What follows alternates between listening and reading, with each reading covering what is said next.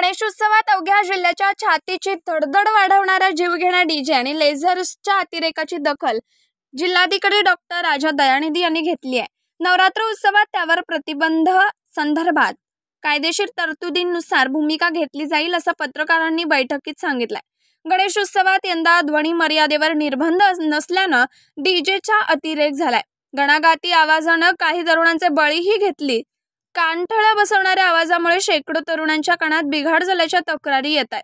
मिरज आणि सांगली शासकीय रुग्णालयात कानाचा पडदा तपासण्यासाठी गेल्या महिन्याभरात अनेक तरुण आले.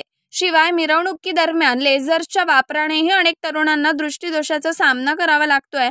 अनेकांच्या डोळ्यातील बुबुळांमध्ये दोष निर्माण झालेले आहेत. उत्सवात डीजे आणि लेझर्सच्या वापराच्या विरोधात सार्वजनिक विरोध वाढतोय.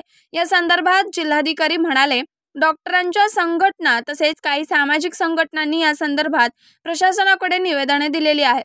उत्सवाची परंपरा व्यावसायिक बाबी आणि लोकांचे आरोग्य या सर्वांचा एकत्रित विचार करून निर्णय घेतला जाईल.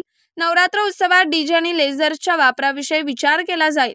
दरम्यान या मानवी शरीराला घातक असलेल्या डीजे आणि लेझर विरोधात स्वतः डॉक्टरांनीच भूमिका घेतल्यानं प्रशासनालाही त्याची गंभीर्यानं दखल घेणं भाग पडलेलं आहे. शासनाने डीजे लेझरवर निर्बंध आणावेत. आवाजाची मर्यादा निश्चित करावी अशी मागणी होत आहे. Bureau report S B N Marathi Sangli.